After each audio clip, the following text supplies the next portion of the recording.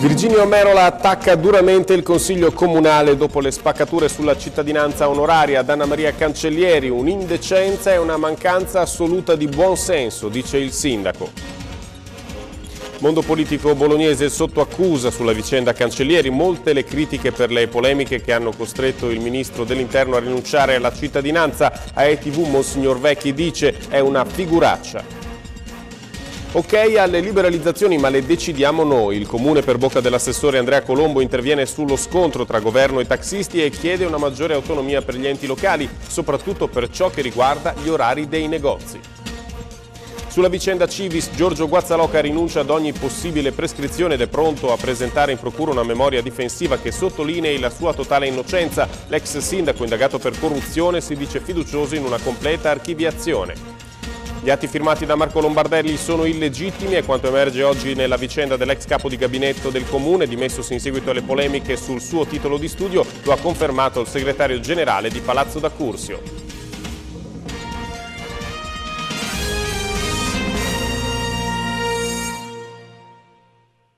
Buonasera e benvenuti a ETG. Il sindaco di Bologna, Virginio Merola, attacca a testa bassa il Consiglio Comunale e anche in qualche modo parte del mondo politico bolognese che in questi giorni, come sappiamo, si è diviso sull'ipotesi di cittadinanza onoraria ad Anna Maria Cancellieri, ex eh, commissario del Comune di Bologna per eh, più di un anno, tanto che l'attuale Ministro degli Interni ieri è stata costretta a fare un passo indietro rinunciando alla candidatura per non creare creare ulteriori polemiche. Torna nel mirino dunque la classe politica accusata di seguire soprattutto gli interessi di parte. Vediamo il primo dei nostri servizi. Prendo atto che questo Consiglio, in molte delle sue componenti, non è in grado nemmeno di rappresentare con decenza la città in situazioni di questo tipo, con un minimo di buon senso e di capacità unitaria. Me ne dispiace tantissimo per la Cancellieri, me ne dispiace tantissimo per i tanti cittadini che avrebbero giudicato ovvio e normale, al di là delle diverse posizioni politiche di parte, di conoscere i meriti di questa persona con una cittadinanza onoraria. Parole durissime contro il Consiglio Comunale e in generale contro gran parte del mondo politico bolognese. La rabbia del sindaco Virginio Merola esplode poco dopo le 12 di oggi a Palazzo d'Accursio, prendendo spunto da una domanda sulla rinuncia di Anna Maria Cancellieri alla cittadinanza onoraria. Troppe polemiche, troppe divisioni su di me, aveva detto ieri l'ex commissario ed attuale ministro degli interni, ufficializzando il suo passo indietro. Un gesto di stile, ma anche in qualche modo un segnale ad una classe politica che continua, nonostante tutto, ad accapigliarsi per interessi di parte, lontana mille miglia dal sentimento popolare dei cittadini. Una piccola città, aggiunge Merola, riferendosi a quella che possiamo definire la città dei partiti, non degna invece della città vera, Bologna, grande per quello che sa rappresentare e quello che sa esprimere.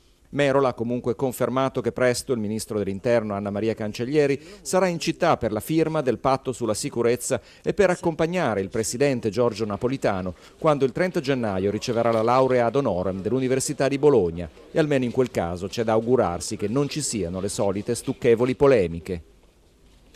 E dopo il caso Cancellieri è lo stesso istituto della cittadinanza onoraria ad essere messo in discussione. Questo è il commento del consigliere regionale del Partito Democratico e consigliere comunale Maurizio Cevenini. Ma sono tante le voci critiche per l'esito di questa vicenda. Vediamo una rapida panoramica nel servizio di Gabriele Sciarra.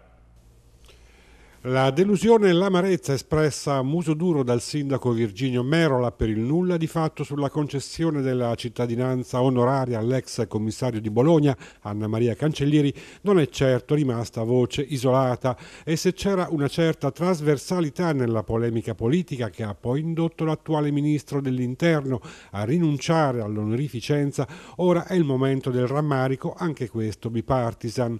Detto del sindaco, anche per il deputato PDL CGL Giuliano Cazzola si tratta di una vicenda triste, nata e condotta male e finita pure peggio, una storia nella quale la classe politica bolognese nel suo insieme, prosegue Cazzola, non è riuscita ad interpretare i sentimenti di gratitudine dei cittadini per il lavoro svolto a Bologna dall'ex commissario prefettizio.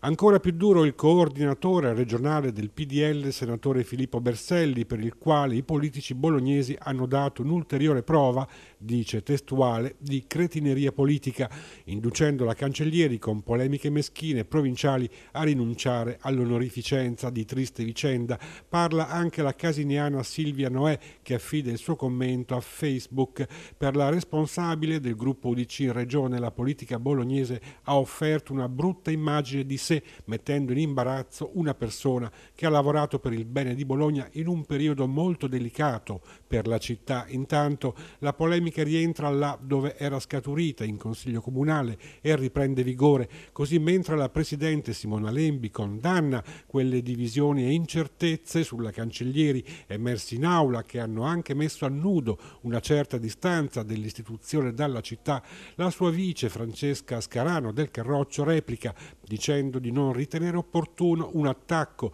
da parte della Presidenza all'operato del Consiglio Comunale su tematiche importanti ma non vitali e urgenti per la vita di Bologna.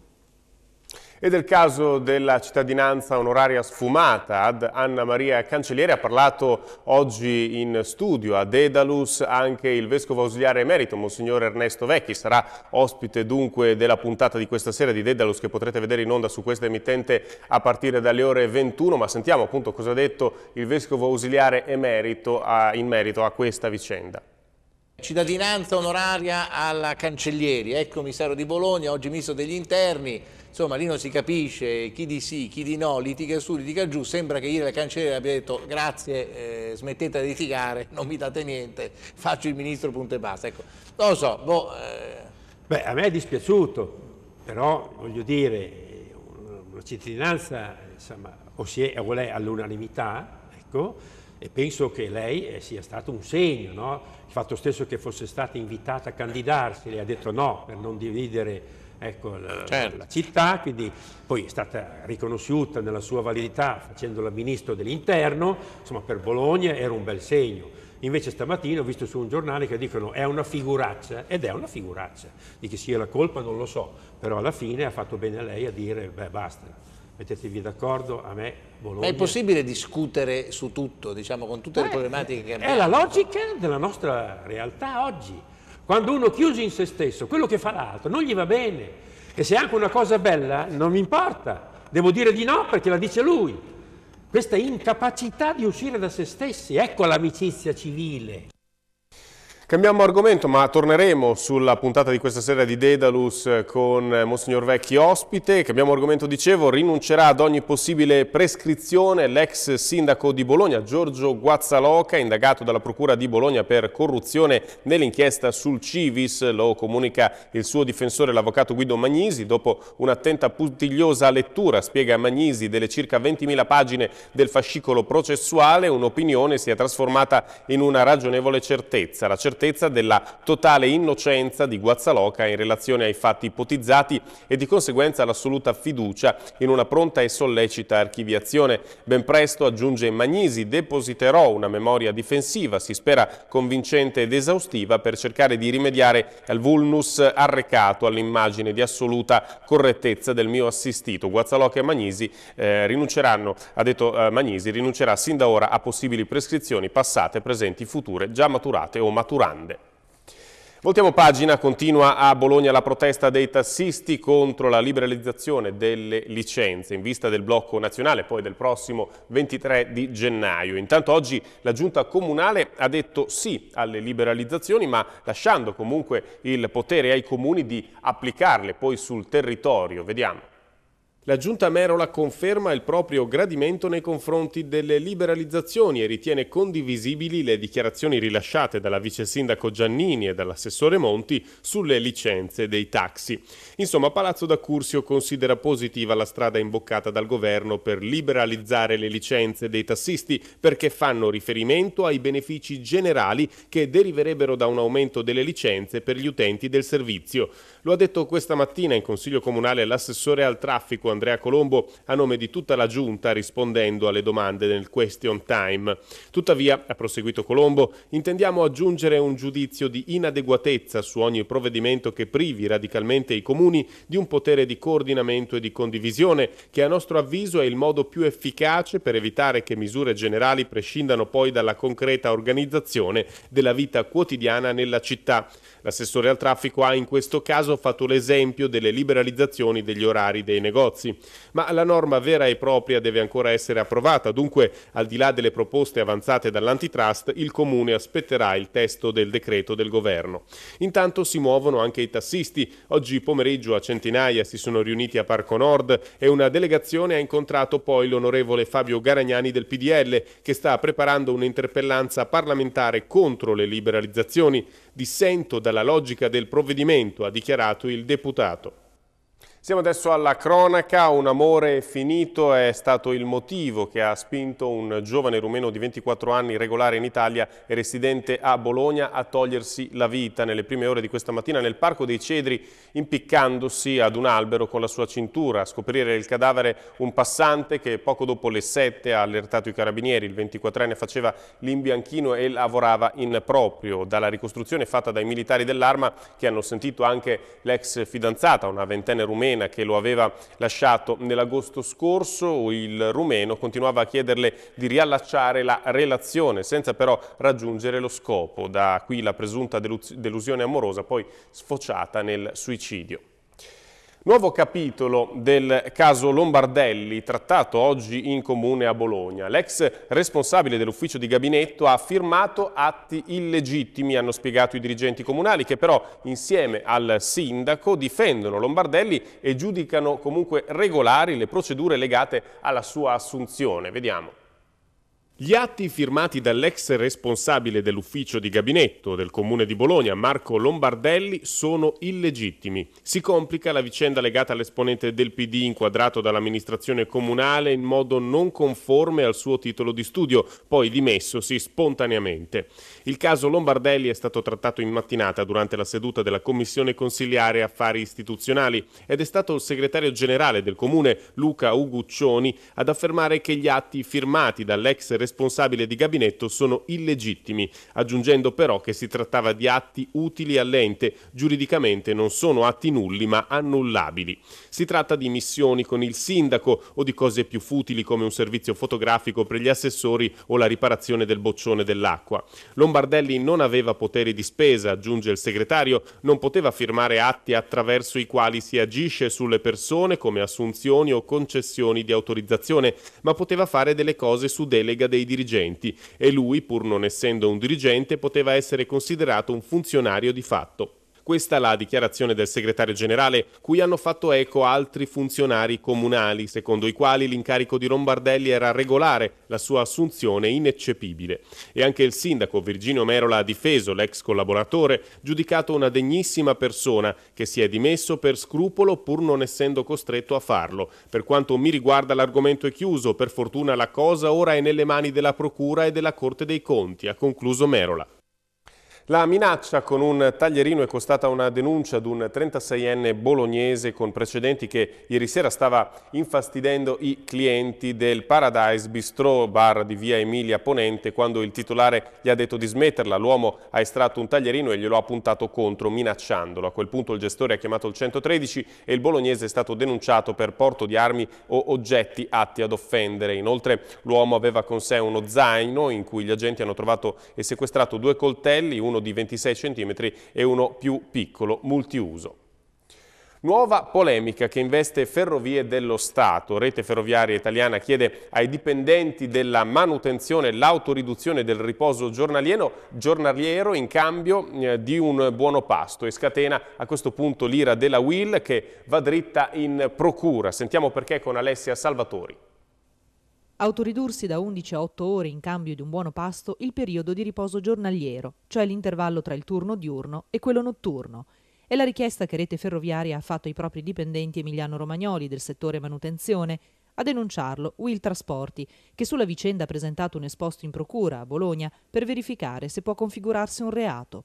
La richiesta illecita, così la definisce il rappresentante dei lavoratori per la sicurezza nei luoghi di lavoro Alberto Russo, era arrivata verbalmente, spiega il sindacalista, attraverso i dirigenti locali, dopo una riunione prima di Natale.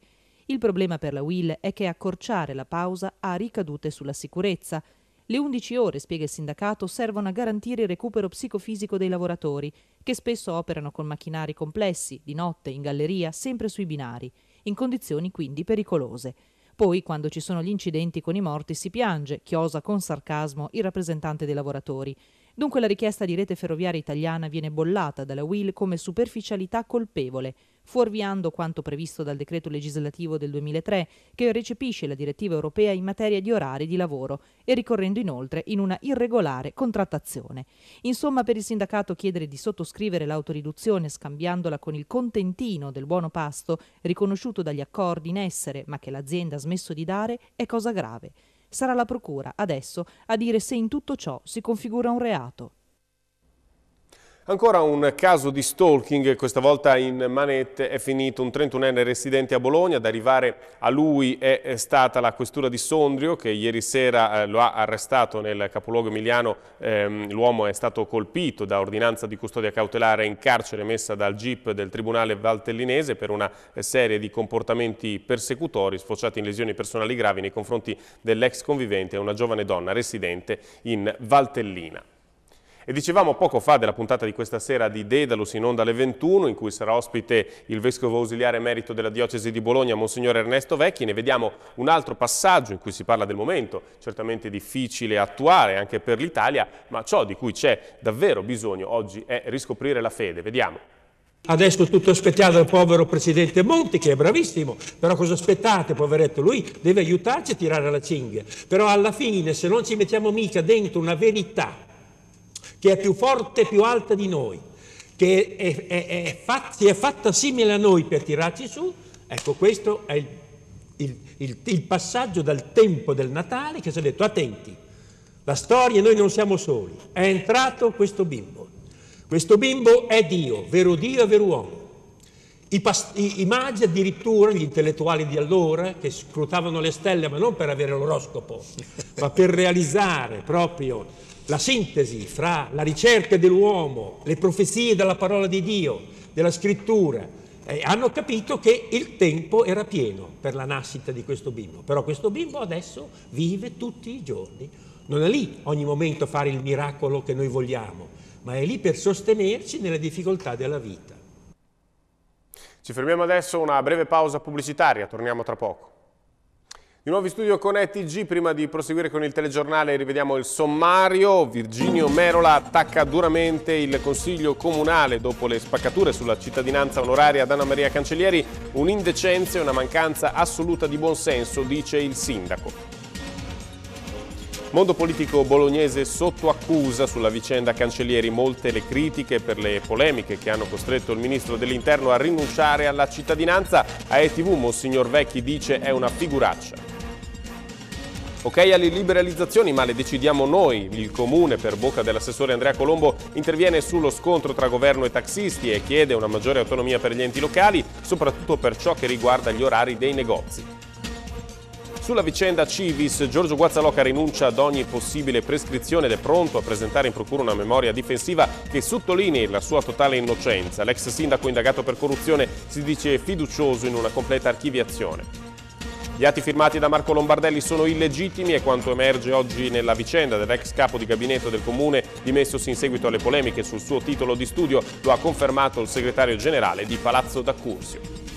Andiamo avanti con il TG, la compagnia di assicurazione bolognese Unipol entrerà a far parte di un polo assicurativo che diventerà secondo in Italia per importanza. Questo grazie ad un accordo con alcuni istituti della galassia Ligresti. Sull'argomento vediamo il servizio di Gabriele Sciarra. La bolognese Unipol e i quattro membri della famiglia Ligresti hanno sottoscritto oggi una lettera di intenti non vincolante con la quale la compagnia d'assicurazioni ha manifestato la propria disponibilità a perseguire un progetto di integrazione per fusione tra Unipol, Premafin, Fondiaria SAI e Milano Assicurazioni, il primo passo verso la creazione di un maxi polo assicurativo che diventerà il secondo in Italia subito alle spalle di Generali, la compagnia compagnia bolognese acquisirà le quote di Premafin in mano alla famiglia Ligresti e promuoverà un'OPA sulle residue azioni Premafin, la holding che controlla il 35% della Fonsai. Per rilevare il controllo di Premafin, Unipol verserà alla famiglia Ligresti una cifra che sfiora i 77 milioni di euro. Allo stesso tempo la compagnia bolognese ha ottenuto dai Ligresti la disponibilità alla sottoscrizione di un patto di non concorrenza della durata di 5 anni. Con questo patto i Ligresti si impegnano a non avvalersi dei consolidati rapporti con la rete di agenzie e la clientela del gruppo Fonsai, un patto di non concorrenza per il quale Salvatore Ligresti Ligresti e i suoi tre figli riceveranno ciascuno 700.000 euro lordi l'anno. L'intesa prelude all'uscita dei Ligresti dal gruppo fondiaria SAI e la Borsa di Milano ha reagito oggi in modo positivo facendo registrare sostanziosi segni più davanti ai gruppi assicurativi controllati dai Ligresti e in procinto di passare a Unipol, segno più anche davanti al titolo della compagnia bolognese, nonostante alcuni timori dovuti all'aumento di capitale che la Unipol dovrà affrontare nell'ambito del piano di fusione diffusione. E per la pagina dello spettacolo andiamo adesso all'Europa Auditorium perché domani e domenica Massimo D'Apporto e Antonella Elia porteranno in scena La Verità, storia di infinite bugie. Vediamo allora di cosa si tratta con Alessia Salvatori. C'è anche la commedia al Teatro Europa Auditorium di Bologna. Il 14 e 15 gennaio arriva La Verità, in scena Massimo D'Apporto, Antonella Elia ed altri naturalmente attori per una commedia abbastanza particolare. Beh, innanzitutto particolare ma soprattutto premiata, è una commedia di un giovane, di un giovane drammaturgo contemporaneo, Florian Zeller, che ha riscosso l'anno scorso, proprio nel, negli inizi del 2011, un grandissimo successo di critiche di pubblico a Parigi al Teatro Montparnasse, tanto che ha convinto la produzione italiana a eh, produrlo in Italia. La verità è una, è una, commedia brillante, una commedia che, il cui titolo trae in inganno, perché è una verità, Alessia, sulla menzogna, dove tutti mentono a tutti, a partire ovviamente dal, dal protagonista, Michel, il quale è un mentitore incallito, eh, ai, ai, quali i, gli altri tre protagonisti della commedia, per forza di cose, devono mentire. Alla fine la matassa viene dipanata o no? Assolutamente sì, la fine ovviamente è un lieto fine, ma eh, diciamo che il, il, pubblico verrà accompagnato in tutta, in tutta, la storia, in queste due ore spassose e divertenti, eh, verrà accompagnato in questa storia tra tradimenti veri e tradimenti presunti. Ancora una breve pausa pubblicitaria, tra poco. Nuovi studio con ETG c'è solo il tempo per rivedere i principali argomenti del nostro telegiornale. Virginio Merola attacca duramente il Consiglio Comunale dopo le spaccature sulla cittadinanza onoraria ad Anna Maria Cancellieri, un'indecenza e una mancanza assoluta di buonsenso, dice il sindaco. Mondo politico bolognese sotto accusa sulla vicenda Cancellieri, molte le critiche per le polemiche che hanno costretto il ministro dell'interno a rinunciare alla cittadinanza. ETV Monsignor Vecchi dice è una figuraccia. Ok alle liberalizzazioni ma le decidiamo noi. Il comune per bocca dell'assessore Andrea Colombo interviene sullo scontro tra governo e taxisti e chiede una maggiore autonomia per gli enti locali, soprattutto per ciò che riguarda gli orari dei negozi. Sulla vicenda Civis, Giorgio Guazzaloca rinuncia ad ogni possibile prescrizione ed è pronto a presentare in procura una memoria difensiva che sottolinei la sua totale innocenza. L'ex sindaco indagato per corruzione si dice fiducioso in una completa archiviazione. Gli atti firmati da Marco Lombardelli sono illegittimi e quanto emerge oggi nella vicenda dell'ex capo di gabinetto del comune, dimessosi in seguito alle polemiche sul suo titolo di studio, lo ha confermato il segretario generale di Palazzo d'Accursio. Con questo è davvero tutto, il nostro telegiornale si chiude qui, grazie per averci seguito, vi auguro una buona serata.